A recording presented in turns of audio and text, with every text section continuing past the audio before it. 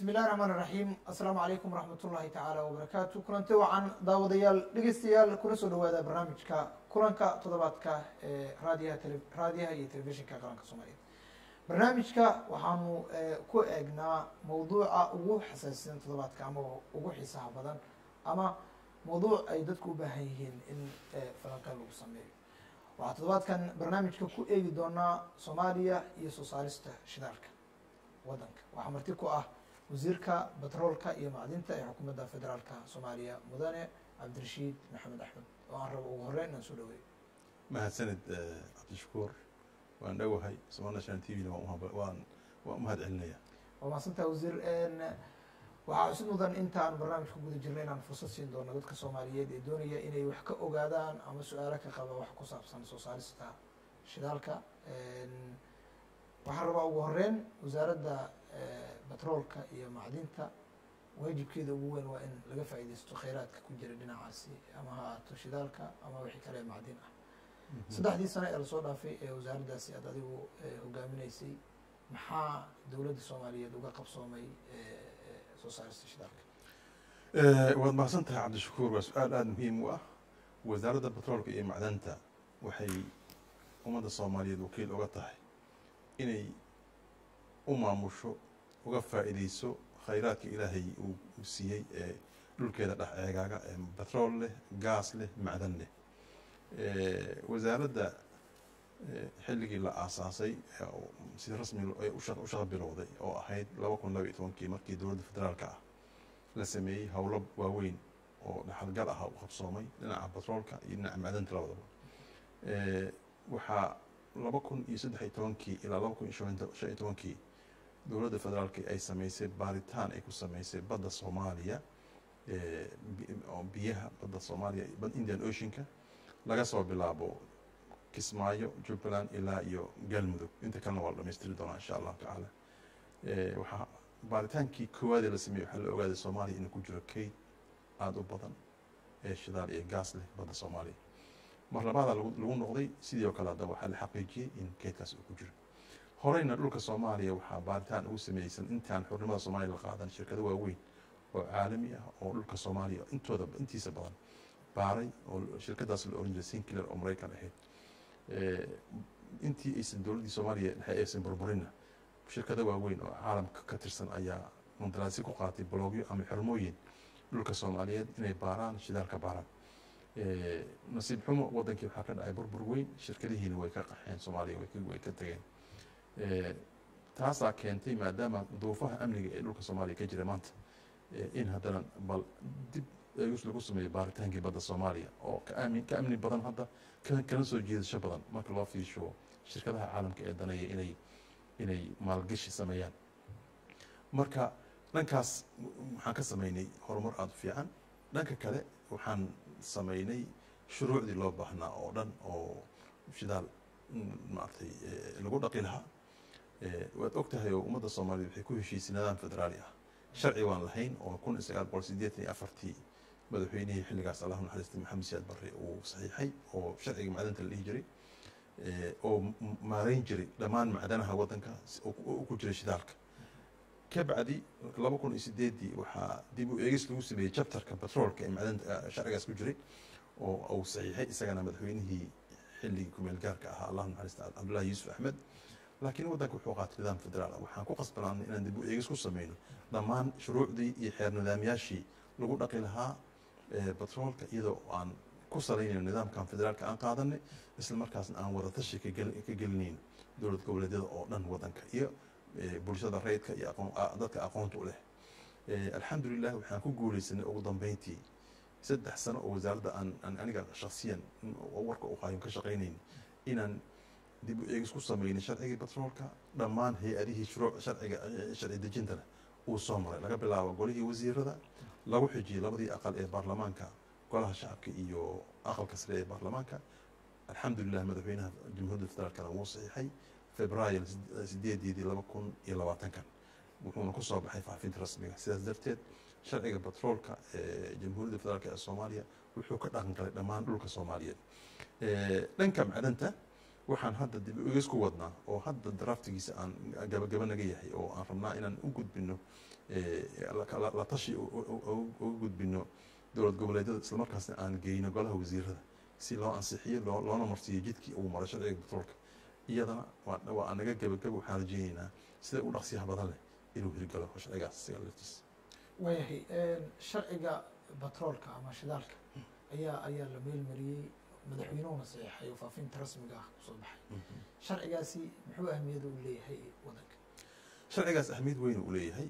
Kow horta waddan haddii uu rabo in maalgashi shidaal qodis lagu sameeyo waa inuu leeyahay sharci haga oo kala xadeeya dalka waddankaas maaragtay la maalgashanayo iyo shirkaddii maalgashan lahayd kow horta wuxuu xadaynayaa sidii loo wada shaqayn lahaa shirkaddii iyo shirkadihii iyo iyo waddankii isla markaasna wuxuu qeexayaa hab kasta oo loo maamuli doono wixii ka soo baxa shidaalka.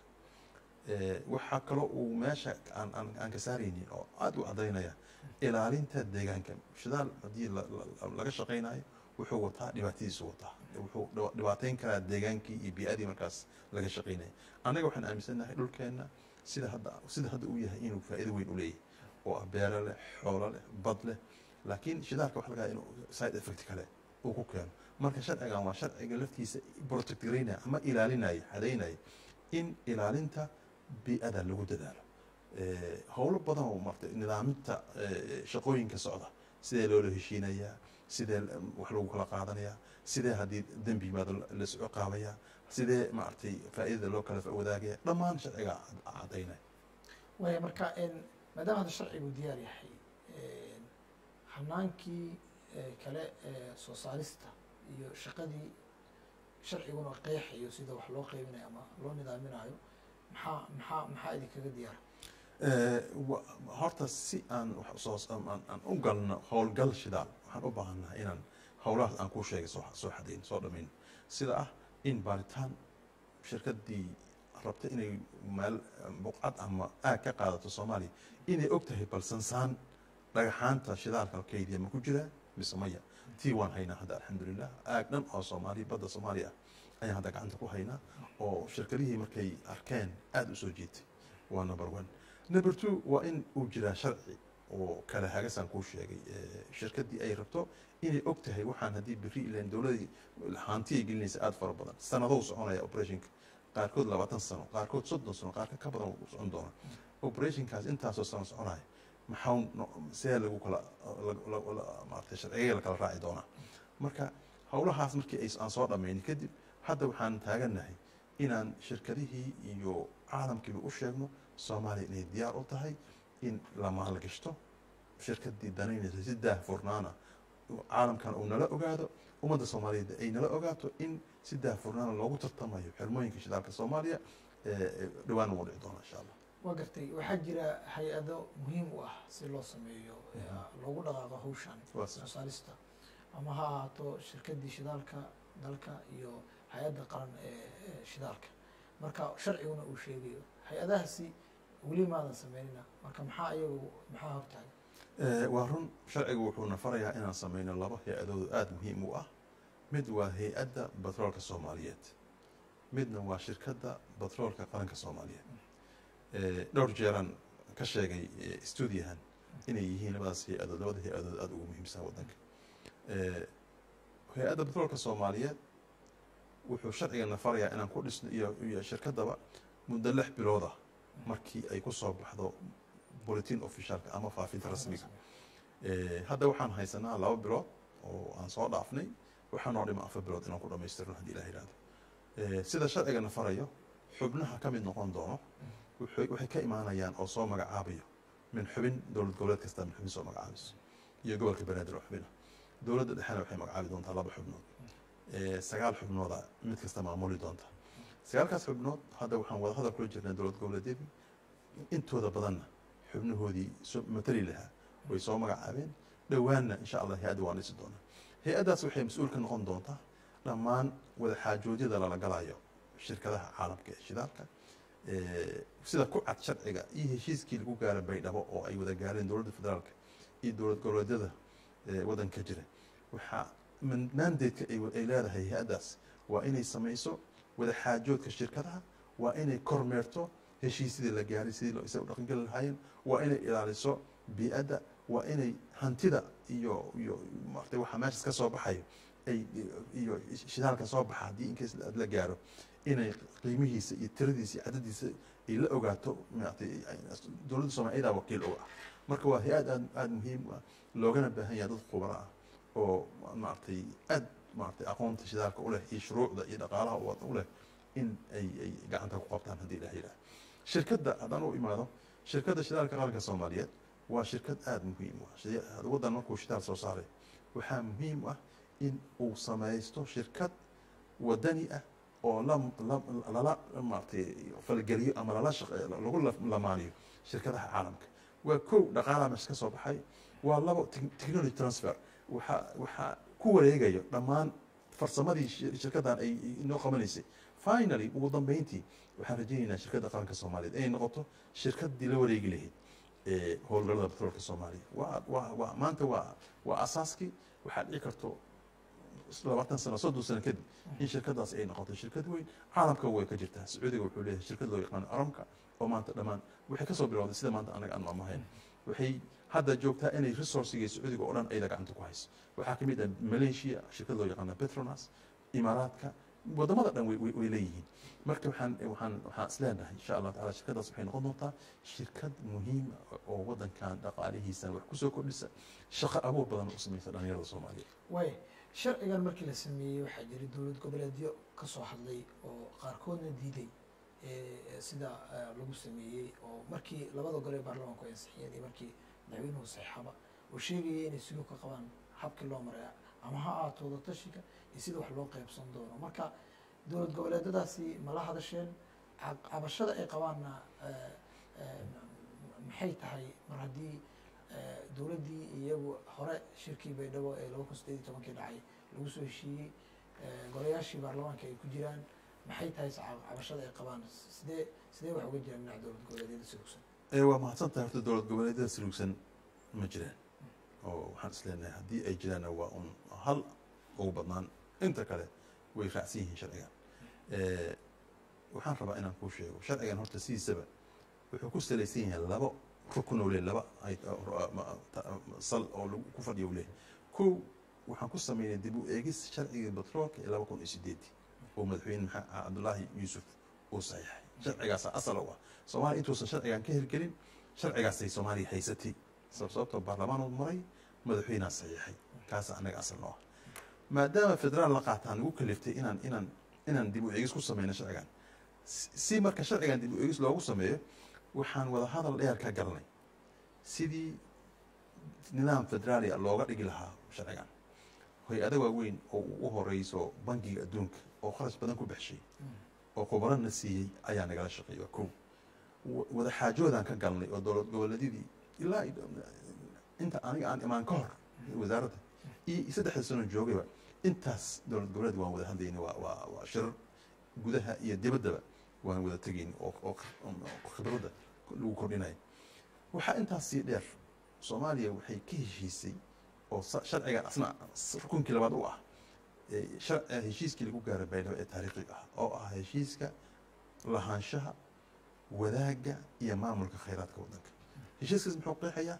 Yaa iskale horta yaa iskale sha- eh, resourcigan yaa leh ummadda soomaaliyaada leh oo wada dhammaystiran yaa u maamulaya dowladda federaalka iyo dowladaha xubnaha ka dowladda federaalka yaa maamulaya waxaa maamulaya way caddahay oo dowladda federaalka waxaa la sameeyey guddi sare oo oo khayraadka waddanka loo yaqaano oo wasaaraha guddoomiye ka yahay ku cad sharciga dowlad goboleedyadana ay ay xubno ka yihiin waa guddiga sare haddii khilaafaad yimaado haddii duruuf timaado haddii sida dhaqaale loo qaybsanayo kulli ayagaa mas'uulka waxaa kaloo lagu heshiiyey in wasaaradda batroolka ay noqoto iyo macdanta ay noqoto wasaaradda rigalood garaynaysa ama xeer nidaaminayso dhammaan siyaasadaha eh, batroolka ee waddanka isla markaasna go'aanka ugu dambeeyo oo ah in heshiis markii la gaarayo eh, saxiix ugu dambeeyo wasaaraddan ay leedahay waxaa ku xigta hay'adda batroolka soomaaliyeed oo la siiyey kormeerkii eh, iyo- iyo wada xaajoodkii iyo ilaalintii hantida iyo oo- oo- inta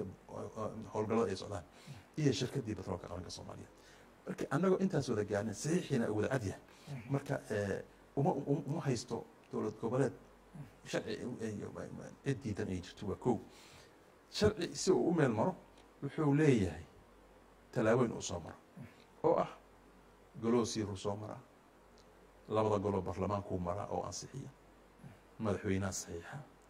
Faafinta rasmiga ku soo baxaa intii tallaabo wuu qaatay sharciga. Xildhibaanada ama golaha wasiirada ee ansixinayana dhammaan waxay matalaan dowlad goboleedyada waddanka. Macnaha qof iska yimid ma xildhibaan waa qof wuxuu ka imaanayaa koonfur galbeed jubbaland puntland hirshabeelle ayuu matalaa aqalka sarena siduu wuxuu u taagan yahay danaha dowlad goboleedyada. Aqalka sarena si unanimsla ay u ansixiyeen una meelmariyaan sharciga. Dowlad ama tabasho hadday jirto hadday tabasho jirto oo cid wax tabanaysa ay jirto waan kala hadlaynaa diyaaraan u nahay waana dhici kartaa consern oo oo ma- oo maaragtay is- aan badayn inuu jiro waxaanan diyaar u nahay inaan inaan arrintaas ka xalino sharcigase waa sharci ma dhexalgala madaxweynaha hadduu saxiixa sharci waa dhexalgal way eh, hanaan walba uu sharci soo marayo. Marka laga hadlayo qabyo qoraal markuu yahay waa in wadatashi la geliyo. Ama golaha wasiirada intaan la horgeynin ama marka golaha wasiirada ansixiyaan oo baarlamaanka marayo oo eh, doodaha baarlamaanka ay dhacayaan in bulshada laga talageliyo dowlad goboleedyada fursad loo siiyo dadka magaalooyinka la tago marka hanaankaas ma maray sharciga sharcigu wuu maray hannaankaas wuu maray dowlad goboleedyada kulli dhammaantood waan soo marsiinay wada tashaan kala galnay bulshada reedka ah waan marsiinay guddiyuu leeyahay baarlamaanka oo guddiyo guddiga khayraadka labada aqalba mid mid kasta leeyahay way wada tashay geliyeen waxaan kaloo muhiima oon sameynay xataa inaan sameynay dhegaysi dadweyne oo dadka intaan u furnay ra'yigooda lagu daray kulli dhammaan waxaas wixii la mari lahaa oo sharciga u mari lahaa wuu soo maray. Waayahay toddobaadkan waxaad soo bandhigteen eh, wasaaradda batroolka ee soomaaliya in eh, wareeggii ugu horreeyey ka hor inaad ku dhawaaqaysaan in eh, la furi doono bisha agoosto tartanka xirmooyinka shidaalka eh, eh, aad kolba hadda qiimeynta ama baaritaanka lagu sa- ama tahay in wax laga soo saari karo bisha agoostana inay bilaabanayso marka xirmooyinkaas aad soo bandhigteen intay la egyihiin? Eh, xirmooyinkaas ilaa todoba xirma ayaa ayaa ayaad ku dhawaaqdeen maxaa loogu qiimeeyey? Faahfaahin naga sii waa mahadsan tahay. Eh, horta maadaama annaga ay naga soo dhammaadeen shuruucdii macluumaadkii geologikada ee baaritaan baxsaankii badda soomaaliyana gacanta lagu haayo.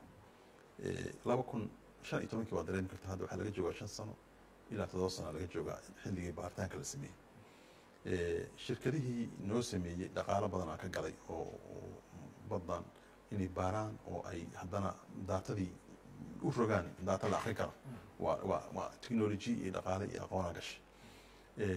Wixii waxaan u baahannahay horta in ummadda soomaaliyeed maadaama hantideedii ay tahay inaan dib dhaqaale wixii laga samayn karo dib loogu soo celiyo ummadda soomaaliyeed shirkadiina aan aan ka siino cadkii ay ku lahayd oo ay maalgashatay oo ay sugaysay intaas sano si aan taas u samaynana waxaan sugaynay inaan shuruucdii lagu dhaqi lahaa waddankan aan meel marino. Markaas kadib aad cid dhihi kartaa aniga daatadana waa hayaa sharcigi shuruucdeydii iyo heshiisyadii aan idan gali lahayn waa kuwaana marka bishii horaan waxaan balan ku lahayn inaan shirkado waaweyn iyo iyo caalamka intiisa badan inta danaynayso inaan shir ugu qabano magaalada magaaladan maraykanka ku taala loo yaqaan houston texas ma suura gelin duruufaha adduunka ka jira darteed. Eh, covid 19 ayaa adduunka dhan kala xiray. Eh, maadaama shirkii uu naga baaqday adduunkina uu u wareegtay inuu si online ama virtual uu u sameeyo. Taasaan maalin- isla markaasna aan rabnay inaan anaga ihtimaamkii soomaaliya loo hayay meeshiisa aan ku hayno. Oo soomaaliya weli inay diyaar u tahay inay ma- maalgashi inay diyaar u tahay inaan adduunka tusno. Ayaan waxaan qabanay ku dhiiranay inaan adduunka isugu yeerno inaan soo bandhigno xirmooyin ka mid ah xirmooyinkeena xirmooyinka aan baa- baaran soomaaliya u baarno aad u badan yihiin waa ka badan yihiin inta aan soo bandhigno Eh, laakiin waxaan ka xulonnay marka koowaad oo tijaabo ahaan aan u samaynay toddobo aan isleenahay waa waa fiican yihiin sababtoo ah markii aad wax soo bandhigaysid haddii aad mm, kuwa liita soo bandhigtid oo marka koowaad magac xun uu ku galo ilaa soomaaliya shidaal kuma shirka- shirkadda ay iclaamiso. Waxa waaye waddankaas magac kalaa ku dhagaa si kalaa calaamadda marka waxaan soo qaadanay todoba ka mid ah meelaha ugu fiicfiican oo baaritaankii daatadooda aan hayno waa soo bandhigaynay waa soo bandhigaynay waxaan ogaanay dadkii in danaynaya oo isregister gareeyey shirkadihii iyo maalgashayaashii isregister gareeyey inay ka badnaayeen boqol oo markaas maalintaas daawanaya ilaa haddana way daawadaan marka waxaan horta waa kow ihtimaamkiina waa ilaalinayna soomaaliya meesheeda inaan ku hayno oo ayna inay danaynaya inay ogaadaan weli annaga inaan diyaar nahay inaan covid 19ka waa waa wax yimid waana waana adduunkana wuu ka dhamaan doonaa adduunka saan sii ahaan doona isla markaasna waxaan u qabanay date uu bilaaban doono tartanka la gali doono. Datekaas waxaan ku salaynaynaa in annaga howlaha hadda naga dhiman oo ah hay'addii samaynteedii sa- xubnihii hay'adda inaan dhisno shuruucdeeda aan dhis- aan sii dhamaystirno agost ayaa waxaan ku aadinay inaan bilowno tartankii loo tartamayay eh, xirmooyinkaas.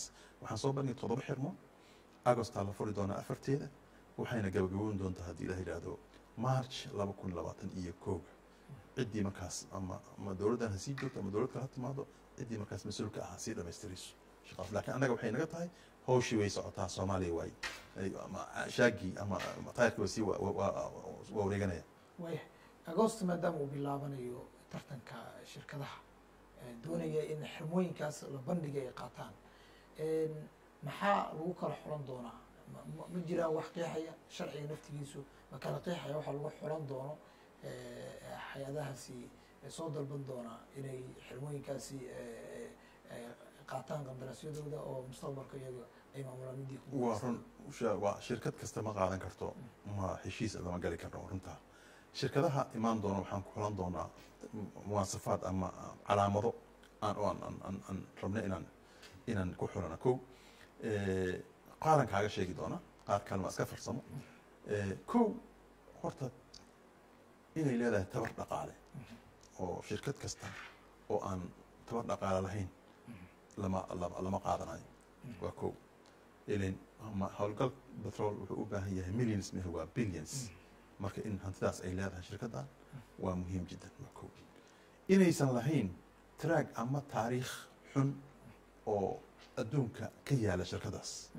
Inay ku cayaartay muxuu ahaa eh, deegaan bii'ad wadameed inay soo ka soo hadlaysay. Inay heshiis ay gashay soo jibisay. In eh, khilaaf kale lagu lagu yaqaano taas lafteedana waa ka egeynaa. Eh, farsamada. Inay farsamadan hore uga u samaysay. Waxaan hore ugu jirtay hawshaan aysan anaga nagu bilaabin. Waa muhiim jiddan. Inaan inaan ogaano. Iyo khibraddeeda khibraddeeda shaqo waxaan khibrad ma u leedahay shirkadan. Waxaa jira dad adduunka maal xoolo ilaahay siiyey oo laakiin aan khibradan lahayn. Hadduu xataa kaasoo kale soo doonto hadduusan wadanin shirkad lagu yaqaano shidaal ma ma ma ma ma siin karno. Marka inahaas iyo ina kaloo farsamo oo kale ayaan isleenahay ka ilaaliya ku fiiriya inta inta aadan la saxiixanin heshiis wax soo saar wadaag. Way waa mahadsantaha wasiir waxaan rabaa inaan fursad siiyo daawadayaasha dhegeystayaasha anagoo su'aalo kalena aynoo jiraan haddana daawadahan ama dhegeystahan hadda barnaamijka tooska ula socda ayaan fursada siinaya. Hallo alo asalaamu calaykum wacalaykum salaam walaal magacaaga iyo halkaad nagala soo xiriirayso? Magacaygu waa aweys ingiriiskaan joogaa. Ayaa way soo dhowow su'aal? Wasiirkaan rabaa inaan weydiiyo hal su'aal. Waxaa su'aashaasne inta la baaro badda soomaaliya meeqa ceel la filayaa inay yihiin iyo predictionka inta ku jiro oo shidaal ah ama loo malaynaa oo barmiil waa idin salaam ala wadiina asalaamu calaykum. Waa mahadsantaha aweys oo ingiriiska nagala soo xiriiraya waxau leeyahay qof kaloo ku jiraan fursad siinaya isagana su'aashiisa waa uu ku soo gudbin doona wasiir. Hallo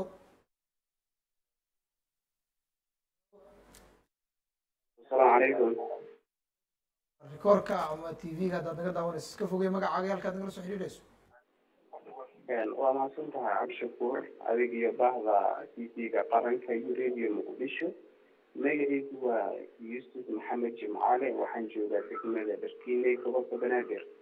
Yuusuf maxamed soo dhowow eh, su'aal waxaad qabto? Waa mahadsan tahay waan inagada waxaan ka raadinay wasiirka. Waa mahadsan tahay wasiir waxaan rabaa inaan su'aalo weydiiyo su'aasha kuwaad ee weydiina waxay tahay wasiirka waxaa maqaalo noogu ah in goor dhawaad bixin doontaan shafiyada shidaalka.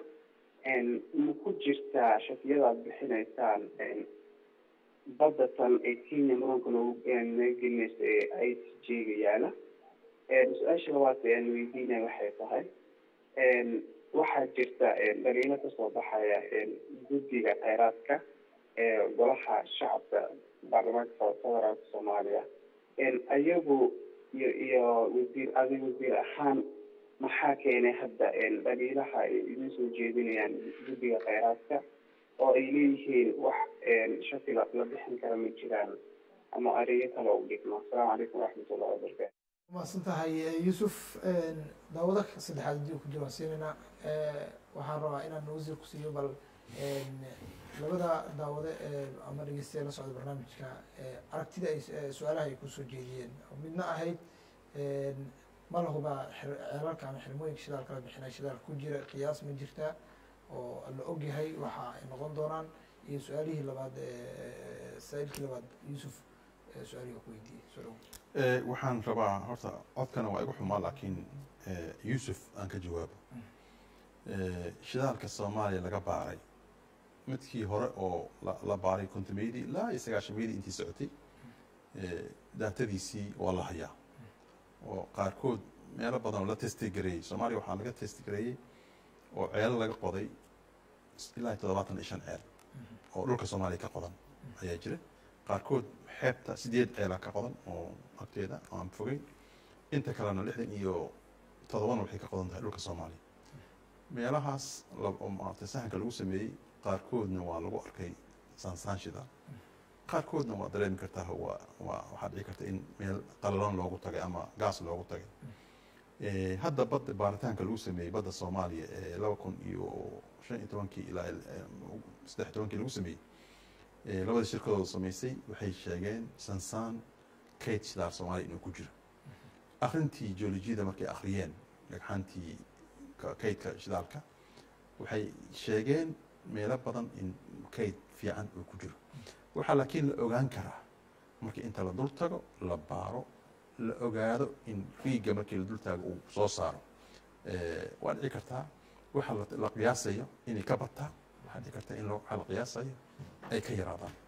Inta baaran soomaaliya hadda waxaa lagu waxay ku sheegeen shirkadihii caalamiga ah oo baaray wax boqol bilyan oo barmiil gaaray.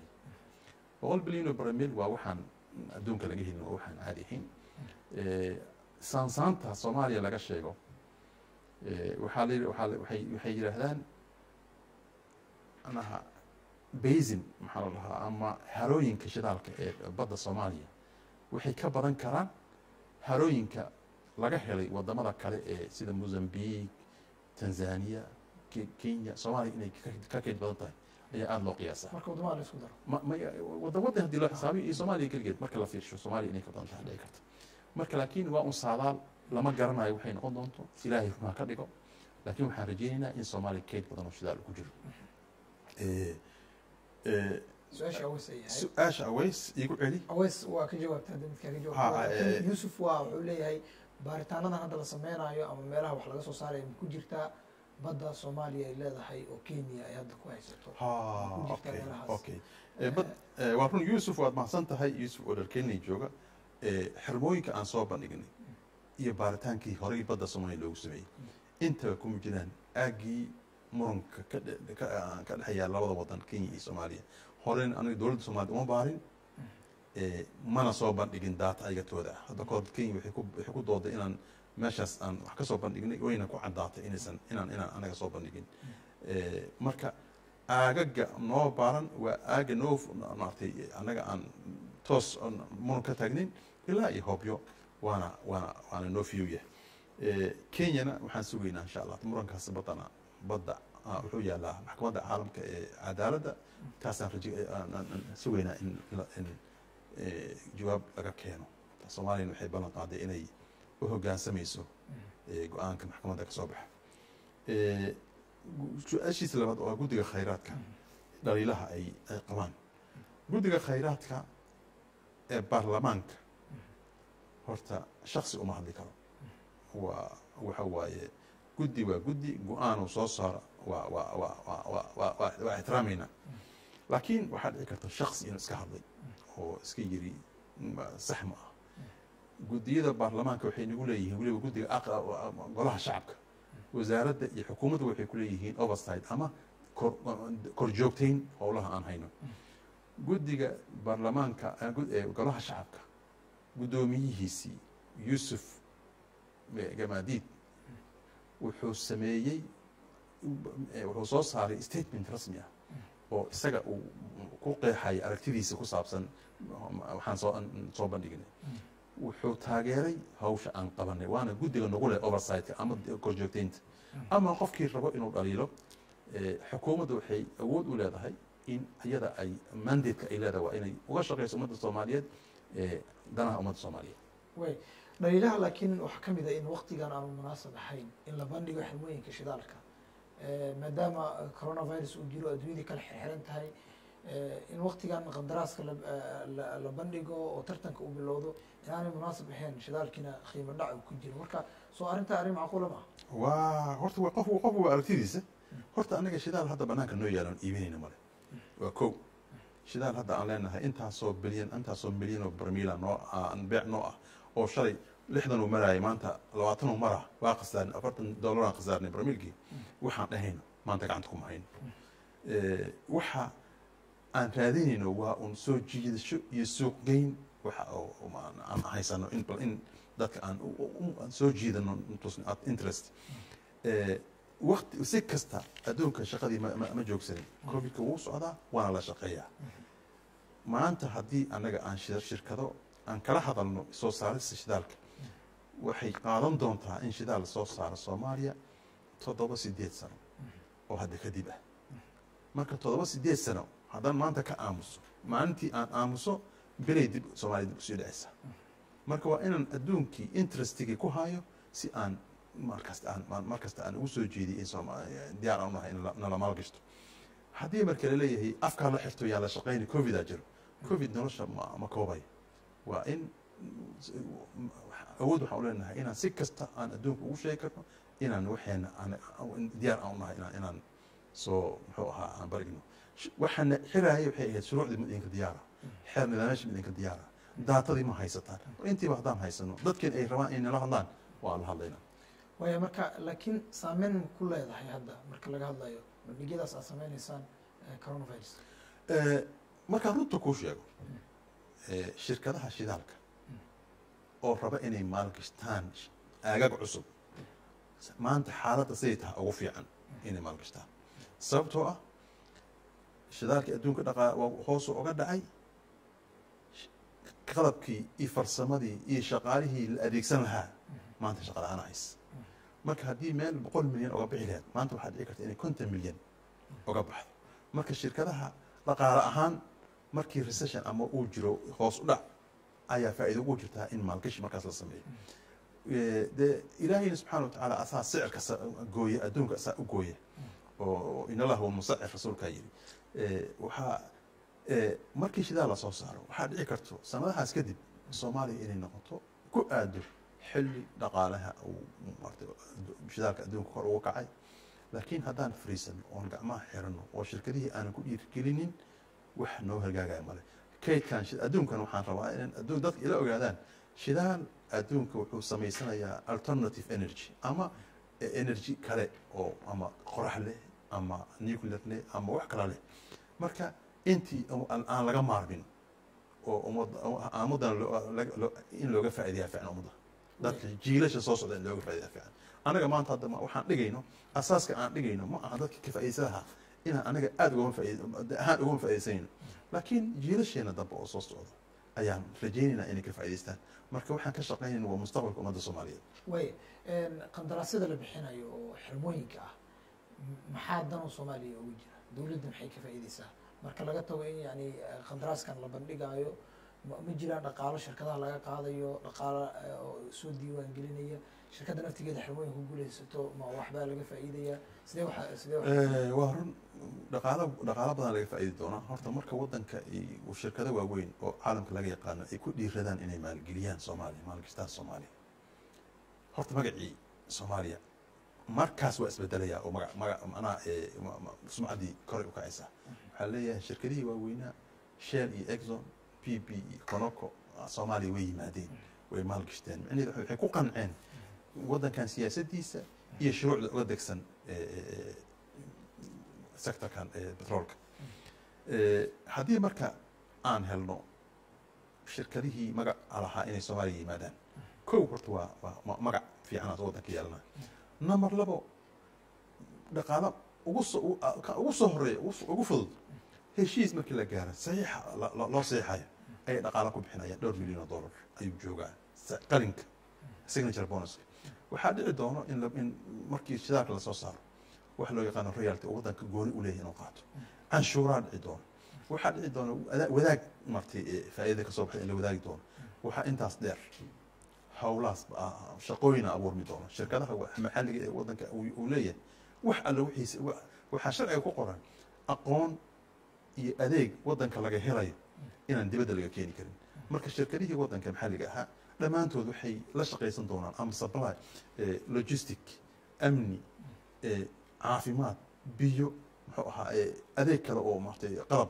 Intaba shirkada soomaaliyeed ka shaqaysan doona marka shaqo abuurna dhalinyaro badan shaqay ka heli doonaan shirkadaha shaqo ka heli doona dhaqaalaha abuurmi doona magacaa samaysmi doona marka ummadda soomaaliyeed faa'iido weyn u tahay. Waya marka shirkadahaasi iyo arrintu waa arrin mustaqbal ah.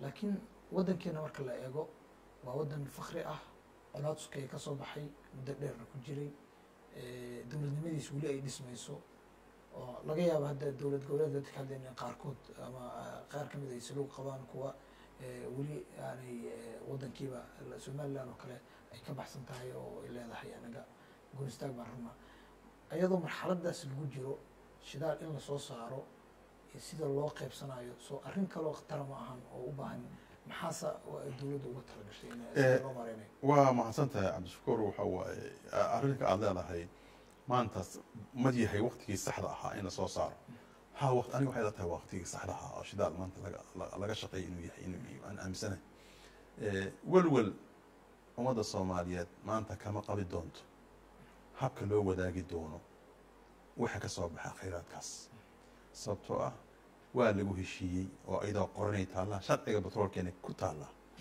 waxaa jira qodobka afartan afraad ee dastuurka waddanka uu leeyahay ee kumeel gaarka inay ku qoran tahay khayraadka waddanka waa laga heshiinayaa maadaama heshiis siyaasadeed oo muhiima oo ka dhacay baydhabo dowladda dowladaha xubnaha dowladda federaalka iyo gobolka banaadir iyo dowladda dhexe ay wada saxiixdeen madaxweynaha jamhuuriyaddan uu witness ka ahaa markhaati ka ah horta sh- baarlamaanada laba baarlamaanka labadiisa aqalna ay meel mariyeen.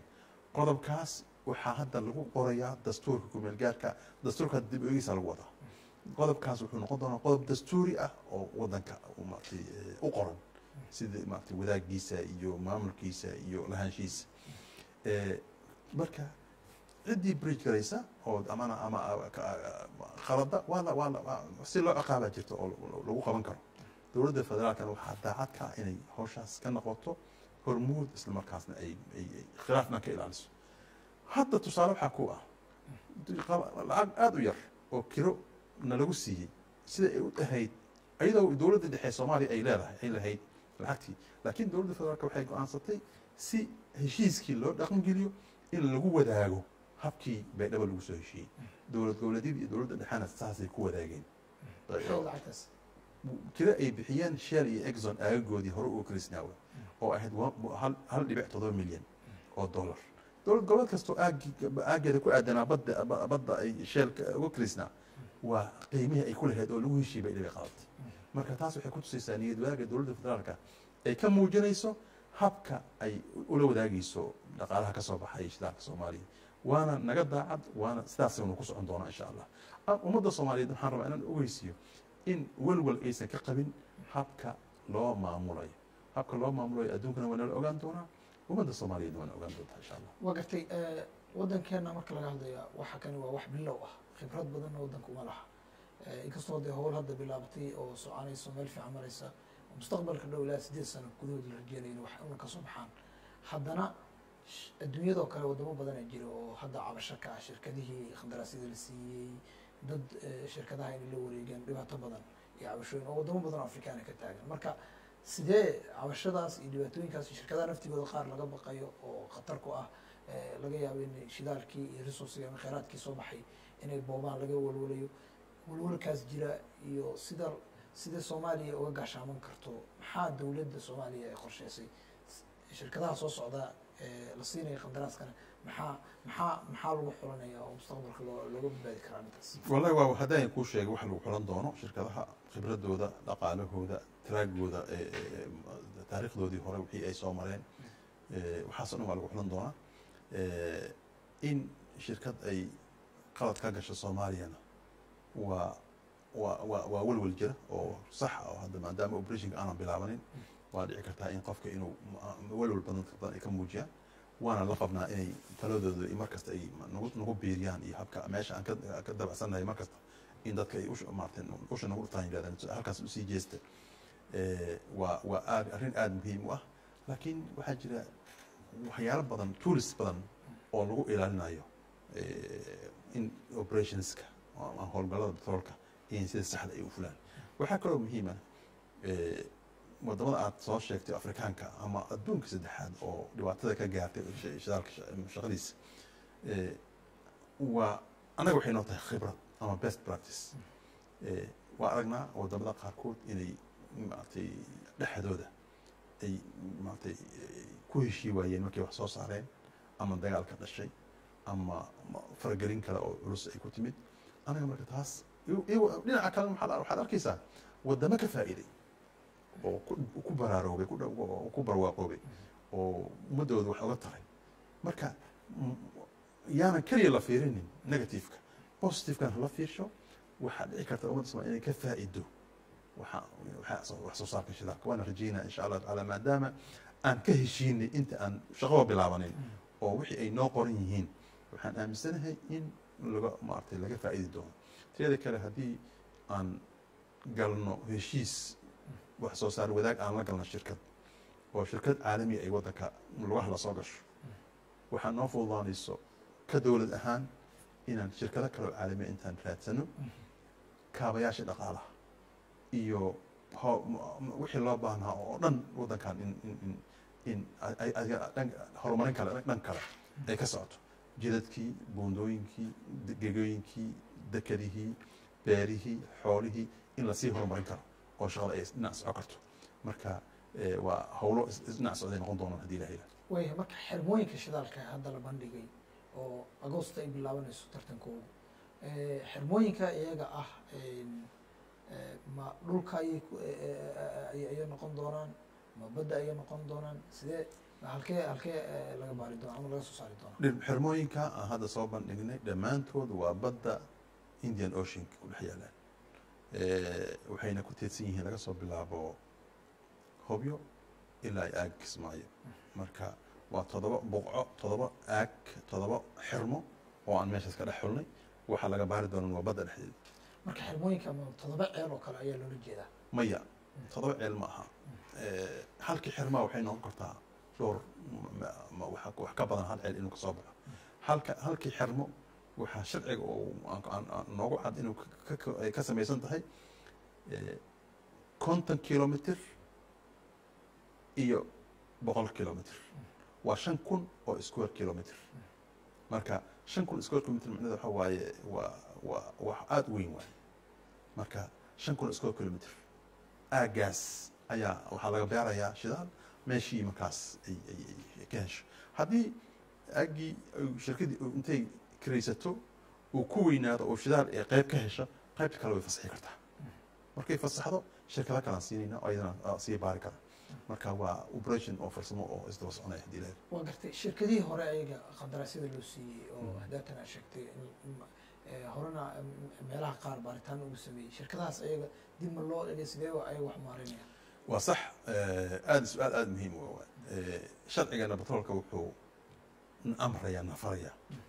shirkad kasta oo dowlad soomaaliyeed la aqoonsan yahay heshiis la gashay heshiis wax soo saar wadaag ama heshiis aag ay kula heshiis.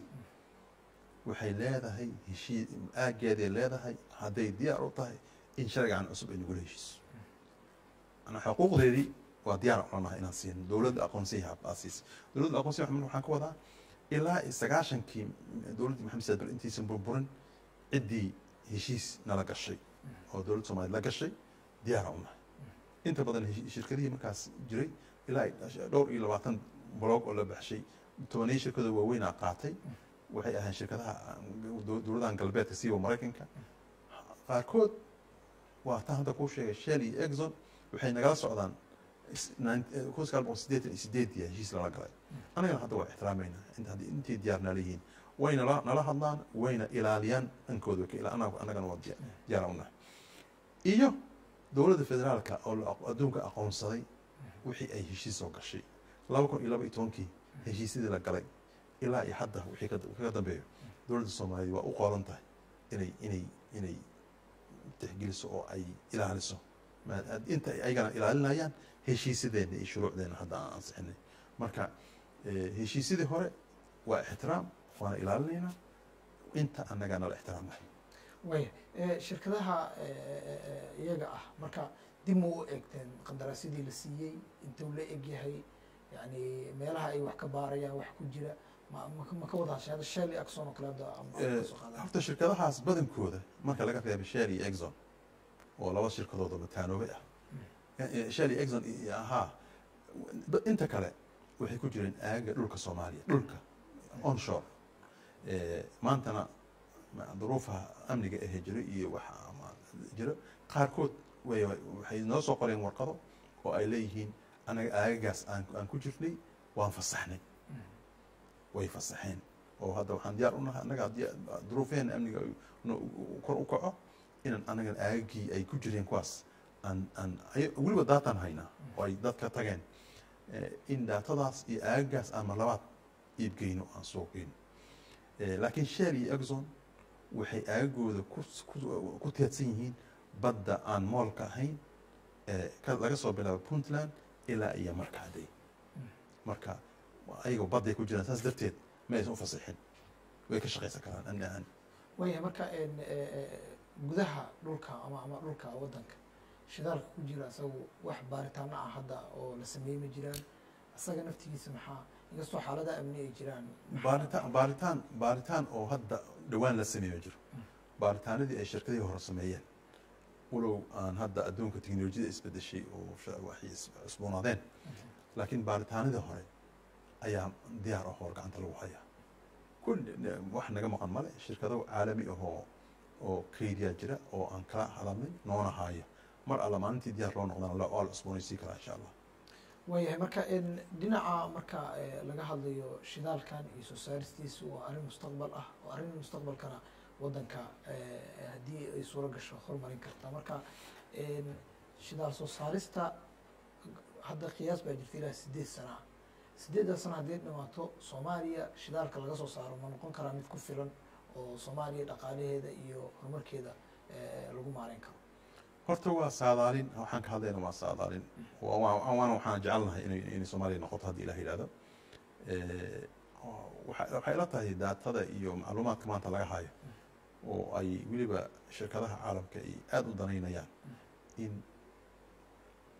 inaan dhihi karno soomaaliya keyd shidaalaa ku jira insha allahu tacaala.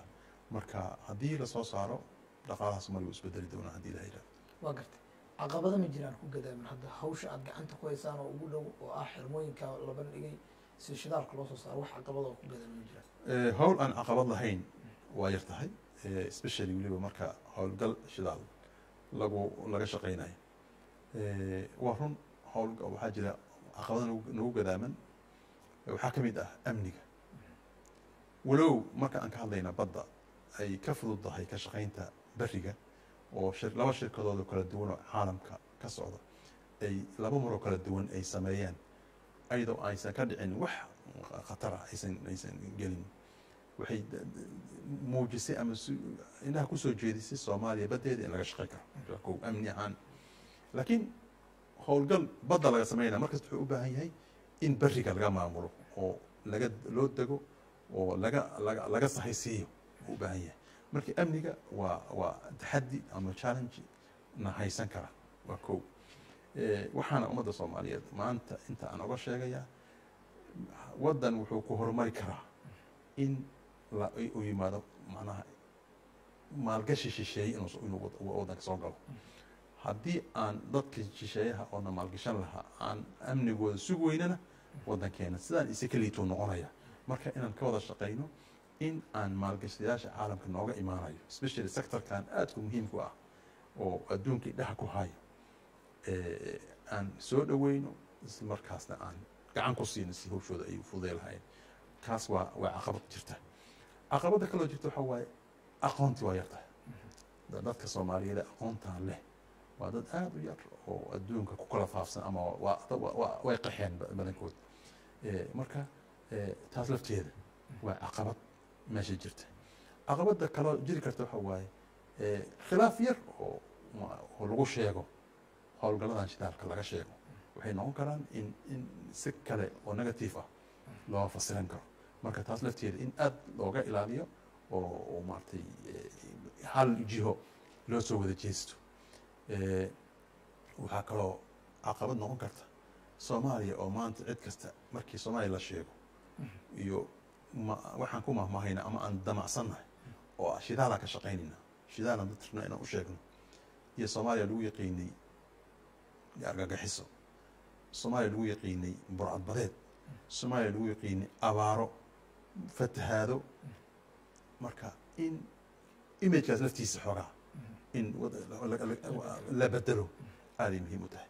Hadda soomaaliya toban dhowr iyo tobanka sano ugu dambeeyey baris ama burcadbadeed ma lagu laguma arkin lamana lama ma- lagumana sheegin Eh, argagixisadii way way sii waa sii yaraanaysaa waa sii socotaa Eh, muxuu ahaa aafooyinkan oo adduunka ka jira aan hadda inagu soo noqnoqday abaaraha iyo fatahaadda laftooda in xukuumadda waxay ku jirtaa dadaalo badan ay ku jirtaa inay inay ay ay ay cirab tirto marka ha- waxyaalahaasa inahaasa isleenahay dhinaca aqoontoo kale markaan ka soo qaadano maxaa dowladda wasaaradda batroolka adigaa madaxda u tahay maxaynan u qorshaynin in la diyaariyo maadaama dhalinyaro badan ah haysano waddanka toddobaatan boqolkiiba dhalinyaro uu yahay. Ilaa boqolaal ama kumanaan dhalinyaro ah oo dalalka dibadda ee aqoontaasi leh loo diro dhaqaalo lagu bixiyo si waddanka mustaqbalka uga faa'iidaysto. Maxaynan u diyaarin oo yani dowlad dhamaatiin oo heli karaysaan. Waa run waa run. Wasaaradda batroolka iyo macdanta waxay qayb ka tahay wasaaradaha waddanka ka jira dhaqaalaha waddanka ka jira qof kasta waa dareemi karaa annaga inta tabarteenna dhalinyarada tababaraan siinaa wasaaradda gudaheeda hadda ka shaqeeya gudaha iyo dibadda waa ku siinaa si ay loogu diyaar garoobo howlgallada soo socda laakiin waxaa loo ba waxaan ka hadlaya waa khubaro waaweyn oo ama dhinaca joolojiyada leh ama dhinaca dhaqaalaha leh ama dhinaca shuruucda leh ama dhinaca deegaanka ee biyada leh waxaasaan ka hadlaya oo waaweyn oo soomaaliyeed oo khibrad u leh waxaan u baahannahay dadka soomaaliyeed ee ilaahay culumtaan baray inay bal da- waddanka dib ugu soo noqdaan oo ay howlahan bal wax ka qabtaan intaasaan ka wadaa way laakiin si mustaqbalka looga faa'iido maadaama waxa mustaqbal laga hadlaya dhalinyarada wasaaradda waxbarashada iyadana arrintaa shaqo ku leh ma ma diyaariseen qorshe un dhalinyarada loogu diyaarinaayo in sideed sano kadib ama toban sano kadib ama labaatan sano kadib soomaaliya ay heshay dad badan oo ka shaqeyn kara waxyaabaha kheyraadka ah ama shidaal ha ahaado ama macdin ha ahaado la socon kara ama dhulka iyo wax ku saabsan geologiga ah dad ka shaqeyn kara in- marka laga soo tago wasaaradda dhalinyarada ka shaqeysa dhalinyarada kale ee waddanka sida ururada dhalinyarada iyo jaamacadaha waddanka ka dhisan intaan gaari karno waxaan u sameynaa wacyigelin ku saabsan in soomaaliya ay isu bedeli doonto waddan u socda dhan shidaal soo saaris marka inay inay aqoontooda u leexiyaan dhinaca joolojiyada dhaqaalaha mu- muxuu ahaa bii'ada inay u leexiyaan waa kula dardaaranaa marka wacyi- wacyigelindaas dhankaas waa ka wada. Dhinaca shidaalka dhaqaalo badan baa ka soo bixi doona. Arrinta muhiimka ee laga wada hadlaya waxaa waaye hadda dee dowlad goboleedyaa jira dowladda dhexa jirta deegaanada qaar xitaa kheyraadku ma gaaro ama waxa loogu talagalay in la gaarsiiyo. Waxaa laga yaaba dowlad goboleedku inuusan gaari karin ama laga yaaba in meeshii xarunta u ahayd iyo inay ku ekaato marka dhaqaalaha soo bixi doona ma laga yaabaa in sidaas oo kale dowladdii dhexe iyo dowlad goboleedyada madaxdooda wax ku eg ay noqdaan deegaanada gaarin Eh, waa lagu heshiiyey horta sidii loo wadaagi lahaa. Eh, dhaqaalo oo dhaqaalaha markii uu ka soo xaroodo sidii lagu heshiiyey heshi- eh, heshiiskii baydhabo dhaqaalaha ka soo xaroodo shidaalka hal account ama hal maaragtay meel ayuu ku dhici doonaa oo la ogaan doona sida loo maamuli doono. Dowlad goboleedka xataa markii ay ku soo oo ku soo aado qoondo iskama qaadan karto ilaa ay ka keento waxa ay ku qabanayso. Iskuul leh wadda leh isbitaal leh station leh manaha markay keento wax rasmi ah oo horumarin u leh ummaddaas aagaas leh eh, degan markaasaa dhaqaalihii loo fasaxaya. Marka dhaqaale aada loo control doono noqon doona ma aha dad dhaqaale. tiro yar inuu gacanta ku galo waa laga taxadiri doonaa. Waa aada looga taxadiri doonaa. Ha. ugu dambeyn dad badan baa haddana daawanaya ama dhegeysanaya. Barnaamijka soomaaliya rajada ay qabto markaa intay la eg tahay maxaa safariin oo dadka soomaaliyeed aad la wadaagi lahayd maanta adoo wasiirkii batroolka ah dad badan baa badan qaba oo isleh waddankiinu wax soo saar buu yeelan doonaa qaar baa niyajaba oo lahaa waddanka ilaa aan soo garaadsanay shidaa baa la soo saaraya qaarad baa ku jira leh qaar baa weli walaac qabo leh yani suuragal maa xilligan lama joogo oo cabsiyaa jirta khatar baa jirta sida wax loo qaybsan doono ama wax xaqan maadaama dhaqaalayihin lamasuqmaasuqa marka maxay tahay fariinta aad dadka soomaaliyeed ee ku daawanaya waa mahadsan tahay dadka soomaaliyeed hal fariin oo muhiima raba inaan u sheego oo ah khayraadka shidaalka soomaaliyeed i horey looma soo saarin hadda ta- lagu jiraa dariiqii lagu soo saari lahaa kow horta waxaad ogaataan ilaa iyo hadda shidaalka soomaaliya inuu inuu ugu jiro gacan aamina oo aan ilaa hadda lagu cayaarin oo si fudud loo bixinin. Numberka labaad waxaa waaye si shidaalka soomaaliya looga shaqeeyo ama batroolka soomaaliya soo saaritaankiisa looga shaqeeyo waxay dowladda hadda jirtaa xoogga saartay dhammaystirka shuruucda lagu maamuli lahaa. Taas horta waxay tusaysaa ummadda soomaaliyeed in aan degdeg nagu jirine oo aan rabno inaan kalsooni ka helno ummadda soomaaliyeed iyo dadka maalgashanaya marka in ka- nagu kalsoonaadaan oo gacan aamin aan ugu hayno maaragtay han- hantidooda eh, isla markaasna aan shuruucda iyo wixii lagu heshiiyey ilaalinayn ina- inaan ogaano. Waxaan rajaynaynaa oo aan leenahay maalin aan ku baaqay oo soomaaliya way isbedeli doontaa dhowaan. Waxay isu bedeli doontaa soomaaliya business iyo howlo culculus ayaa dhowaan ka bilaaban doona insha allahu tacaala. Waxaana saadaashu tahay horumar insha allah waxaan codsanayna ummadda soomaaliyeed inay nala shaqeeyaan noona soo duceeyaan. Waaya aad iyo aad ayuu mahadsan yahay waxa uu ahaa wasiirka shidaalka iyo macdinta ee soomaaliya. Ama wasiirka batroolka iyo shidaalka eh, iyo macdinta ee xukuumadda federaalka soomaaliya. Mudane cabdirashiid maxamed axmed oo toddobaadkan marti ku ah barnaamijka kulanka toddobaadka ee raadiyaha iyo telefishinka qaranka. Waanu ku egnay soo saarista shidaalka soomaaliya iyo waktiga ugu dambeysay ay suuragal tahay in soomaaliya ay gaarto. Aad iyo aad ayaan wasiirka ugu mahadcelinay wasiir adaa aad mudan umahadsantay. idinkaa sidoo kale waxaan mahad celinayaa bahda farsamada ee telefishinka iyo raadiyaha iyo sidoo kale daawadayaasha sida tooska ah inoola socda. Waxaa kaloo aan raali gelinaynaa dadka doonaya inay nagala qayb galaan barnaamijka oo waqtiga aan u saamixin. Intaan markale dib ugu kulmi doono waa anigo cabdishakuur ali axmed wadaile sidaa inabadgelyo asalaamu calaykum waraxmatullaahi wabarakaatu